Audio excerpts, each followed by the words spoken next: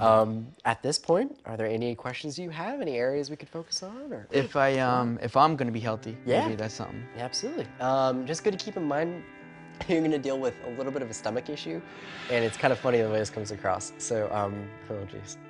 All right, got that, that, stomach, stomach. Well, I have stomach problems. Yes, That's the only problem I have. It's the only one. Isn't that Um, wild? but there are two. I'm leaving. This is crazy.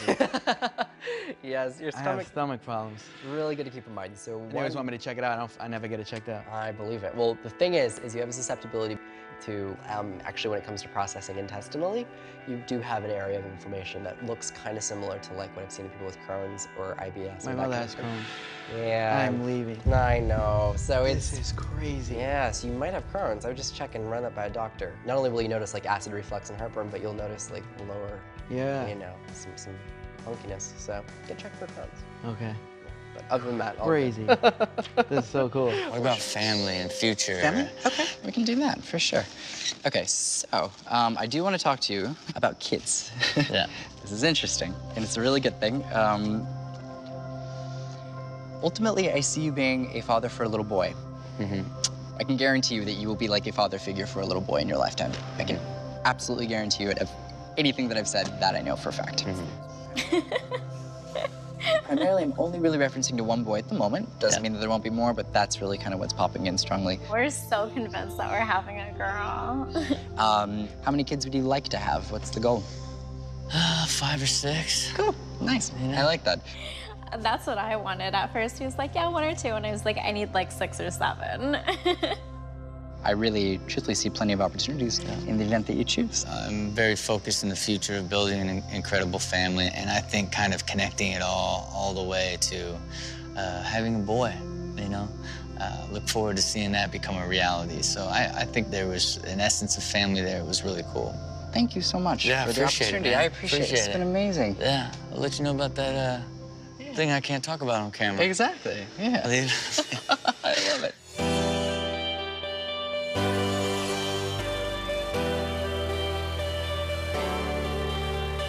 I really want to keep this in mind. Um, I have to talk about health, and it's kind of health with family. For the men in your family, it's really good to just take into consideration that blood pressure is going to be something that we really have to keep in mind. Now, heart issues, they happen to men. It's not uncommon. But the thing is, is that, uh, let me see what that is. I don't, I don't even know where to start.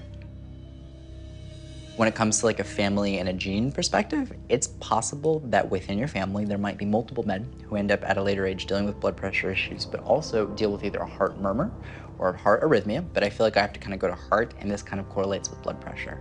So just kind of keep that in mind. I have a couple people who've you know kind of came through and acknowledged passing in a bit of a similar sense, and it's almost saying like, keep in mind your own heart because there's a man who was very stubborn who passed away, and he acknowledges dying as a result of this heart problem. His message is, don't be stubborn like I was. And the feeling is like, this is a strong guy, he's great, he's lovely, but he was really frustrated at the fact that he neglected this because this is something that could have been treatable had we just known about it. I'm not wanting to go. And there's just a feeling of like, don't let don't let you be me, basically, in the way this comes across. It's like keep this in mind, be proactive in your health, do what I didn't is kind of the message. So No history of heart disease sure. uh, in the family. Sure. Uh, with the exception of my sister, uh, had a heart issue, had open heart surgery. Delighted uh, that she's fine now, Great. but uh, it can't get much more serious than that. Sure. Uh, just not a genetic line that we've known. Right. Interesting. Okay. That is unbelievable. You said the heart, Right. And how that came through. and we talked about it. Right. Let me see. So I've been trying to kind of figure out whether to say this, but they're bringing me to baby stuff. it's really hot in here. They're bringing this energy forward as something to keep in mind. In your life, one of your big purposes is going to be to be a mother figure for a child. That's something to keep in mind that without a doubt I know. The thing is, is how we get there, it seems a little complicated. We're gonna go, go through some hurdles to get there, is the way I would describe it. Mm. It's nothing to worry about. But if there are alternative forms of fertility that have to be done, or if it takes a little while, or if there's something unique with a pregnancy, just be very conscientious in the event that that is something you do. because of my age, I'm 35. You know, it's always a question of like, should I wait? Should I do it now? You know what I mean? Like, it's literally the topic that I think of waking up, and it's the it's the topic that I think of when I'm going to sleep. Yeah. Is this worth it? You know? Absolutely. Okay. And you can do it together, and there's Yeah. ways it can be done together. And it's a strain that it isn't always going to be there. I think Yeah. you two location-wise, that'll work out ultimately. Yeah, that's good to know. Yeah. No rush on that one. Yeah, tell tell that to my husband. Yes, right? Yeah. It's a unique Just- stress that yeah. successful women have of having to navigate the professional responsibilities and then some of the societal Yeah. and familial expectations. And mm-hmm. I, I, I It's give a it lot. to you. it's a amazing. lot, It's yeah. incredible. Any woman in any career can and can relate because they're juggling so many things at once. Yeah. If you're having doubts, I think doubts are normal. It's normal to feel discomfort. I think when you know what you're meant to do, life kind of finds a way to open up Yeah. those doors to let you do it. And Yeah. I just needed that kind of kick in the ass perspective of like, I feel so sorry for myself. And instead of that, it really is just be grateful. Like it's only gonna get better, you know? The universe has clearly set this up to happen for a See? reason. I just needed a good talk. I know, right? We got it. We worked it out. Any questions? What about love life? Love life? Oh, Just no. really quick. I'm sorry. I think really in in in yeah. Let me look. Okay. Uh, sorry. Look, you this said is- yeah. Okay. There's a situation with some someone tries to get with one sister. Okay. someone tries to get with one sister and then tries to get with the other. Um, what is happening? Oh my God. Does that make any sense? Oh, like, Actually, kind of. Mm-hmm. You do. Yeah. You do. I kind of do. You do. What about that situation? I don't like that situation. That person, I, I'm not. We'll I think we're on the same page. Yeah. Okay. As long as it makes sense to you. I'm mm-hmm. blushing. But yes, it's all that matters. That's good. Um, it's also good to keep in mind. It basically, there's a situation with an individual from the past that we've been romantically involved with, and I basically see this individual kind of going in and out. And to me, that generally indicates that this person's kind of in our lives, and then kind of out of our lives, and then kind of in our lives, and kind of out of our lives. The feeling is basically that we want to really set healthy boundaries and say, no, no, you can't kind of dip your toes in and leave when you want, and can't really commit in Yeah. the way this comes across. It's like, I still want to be part of your life, but I can't commit to the things that you really want me to do. It's like a I think really. I know who you're talking about. And it's still, and what- what's weird though is like right now it would be platonic. It's not a romantic thing right Yeah. now. It mm-hmm. would have been, but the feeling is like, it's still not a healthy reminder to have Yeah. instability in that dynamic. So the feeling is like really set the terms with this individual. Keep yeah, I think that's from like my childhood. Mm. Mm-hmm. Any other questions regarding My career, yes. What's going to happen with my career at 46? Oh, please.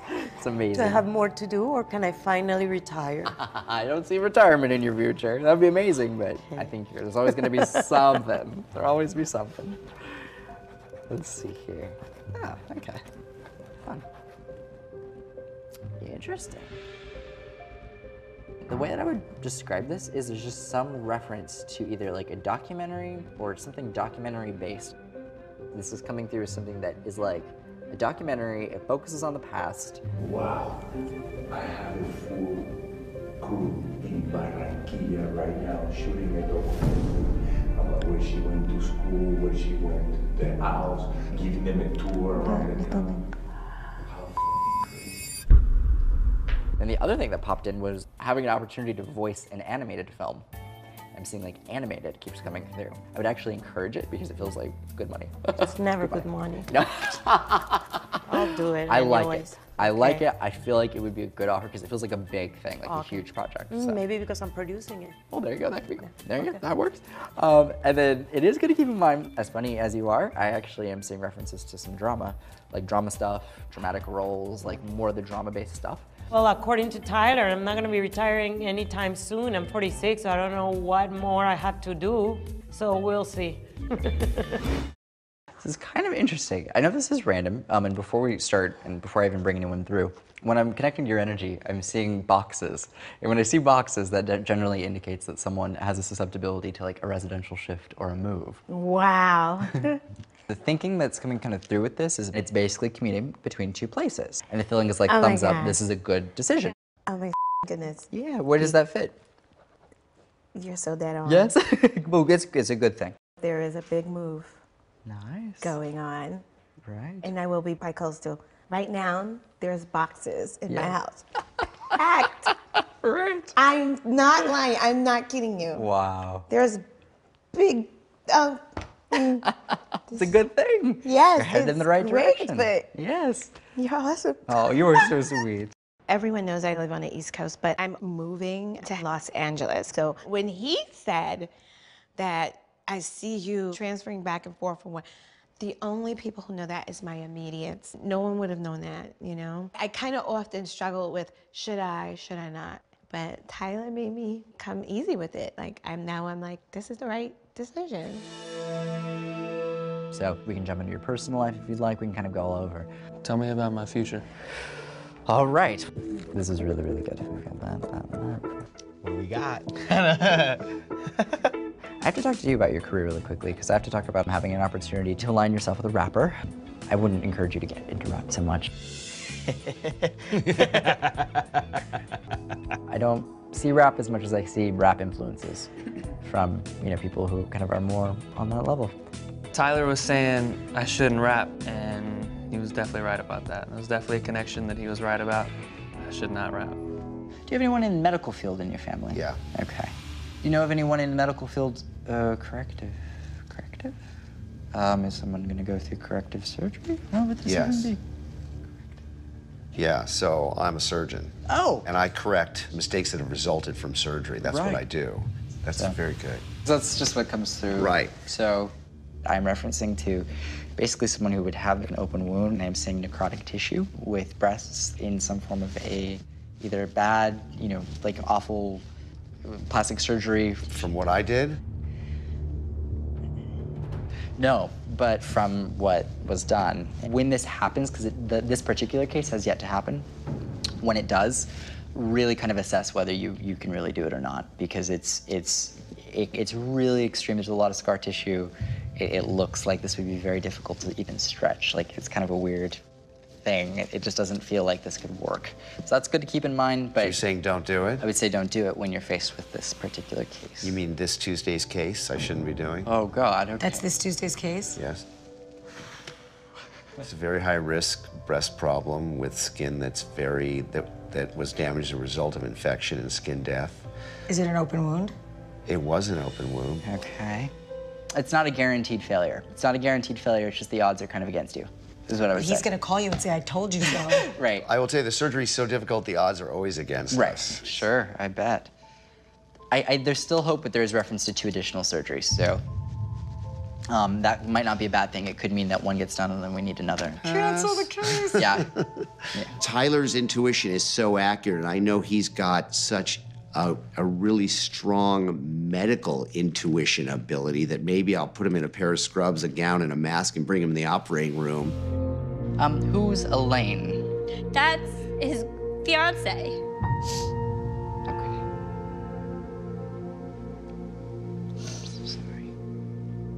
You're good. Thank you. The way that this comes across is that he's referencing um, to the month of October. He's talking about showing balloons, which is usually an indication of like a birthday or anniversary of some sort. But there's referencing to birthday in the month of October. Well, actually, birthday or death date, October. No, he's referencing to Jul- July and October. Can we call my mom when you do this? Yeah, sure. Do you mind? Because this is like she would die right now. Oh, absolutely, sure.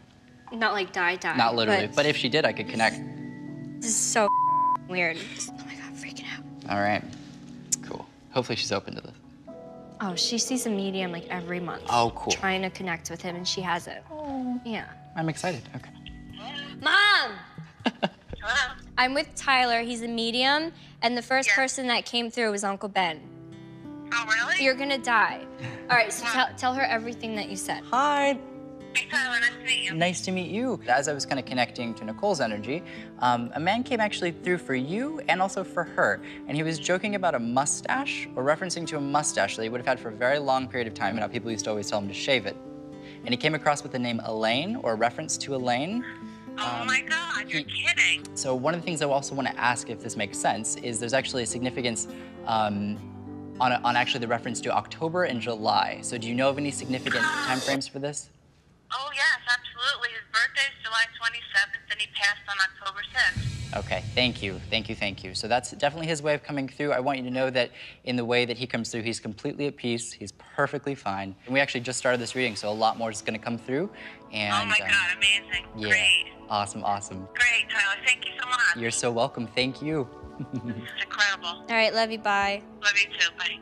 It was very emotional for me because I see him in my dreams and he doesn't speak. So now the fact that I have this communication and my uncle's talking to me, dude, I'm like a ball of tears. Like it's it feels like I'm actually talking to my uncle again, and it's just a relief to know that, you know, he is there. Like when I do feel him, that's him. Now, his, is his dad also Ben? Yes! So Ew! they're together. You're so weird. I know, I get that a lot. That's so cool. Thank you, No, but- it's a good thing. There's definitely the connection, so please know that they're both together. They're both together. They sure are. Oh my god. Yes, it's awesome. amazing. I mean, I already believed it, but the fact that he said things that I didn't even think he would say, it's insane. And now I just, I feel like me and my family are very protected because we have spirits around us, and those spirits are relatives. This might not make any sense to you. There's a reference to Dominic, um, but I don't know if I go by Dominic. It looks like someone had the name Dominic or a connection to Dominic, but doesn't go by Dominic. Like, My uncle's name is Dominic, but we called him Danny. okay, and then was that name passed on? To my son, Okay, his yes. middle name. Okay. That's So his middle that's the name. connection. And uh, Lorenzo Dominic LaValle. Nice. So that would be So he knows we named. Absolutely, and that was important to him. It's really interesting because he himself will grow to be very, very intuitive as well. Oh my God. It's interesting because he actually, Yes. he, if anyone in your family is really going to see your loved ones that have passed away, it's him. So he Stop, stop it, stop because he's stop. actually already seen them. So good to keep Stop. them. Yeah, he does. Like the movie. Right, I'm like, like, Sixth? Sense, exactly like the soundtrack Oh my is God, cueing. stop. Yeah, Is that creepy at all? Like, should I be scared? I wouldn't. I mean, they're not going to eat you, so it's you're fine. Like, it's, Demons? no, no, nothing to worry about there. Okay. Yeah, no, you're good to go. But I want to tell you, you're not done having kids. We have a couple different things, but you definitely are going to have more kids. So we'll see. No, no, no, no, no. No. But you'll, have another little boy. So. A boy? I want two more boys. No Yeah. more girls. Yeah, girls. They're gonna be sluts, I know it. two more boys. All right. So, do you have any questions about your personal life or any areas that I could answer? Do you believe in aliens? I do believe in aliens. Um, do you think they're here? I don't know. Maybe they are. I've had a few exes that could qualify. Do you believe in demons? Um, not in the traditional sense, no. Not in the like, like exorcism? Not like the religious sense, not so much. Like I believe in negative energy, not in anything inherently demonic, I guess. Don't you think if there's a heaven, there's gotta be a hell? I truly don't know. I mean, for someone who does what you think I'd know, but I, I don't. I definitely know we go somewhere. It's just a matter of where.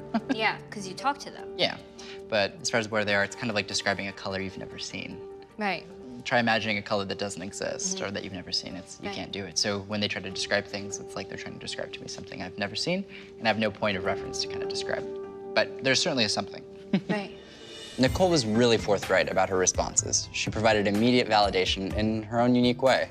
I think I provided a lot of comfort and a lot of knowledge so that she knows that at the end of the day, there's nothing to be afraid of. Well, thank you That was so, much. cool. I'm so glad You're the you're- best. You're awesome. Honestly, you're so Thank cool. you. Definitely Oh. gonna call you. Yes, absolutely, please. I'm freaking out. I'm so impressed, and I definitely, definitely, definitely want to see Tyler again because I love the